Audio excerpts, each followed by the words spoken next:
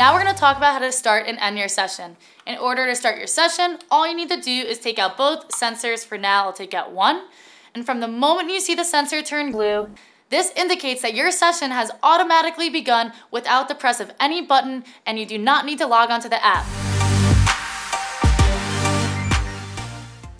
Now, before you end your session, it's important to note that there is a minimal threshold that you need to perform in order for your app to understand that you had just performed the session. You need to complete 300 meters or 340 yards, 10 minutes of activity, or a minimum of 20 touches. Now, in order to end the session, you put in both sensors. The flashing white lights indicate you have data pending to be synced with your phone. Now, the session, just like the beginning, ends as soon as the sensors go back into the case without the press of any button or going onto the app. Now, you're ready to explore your data.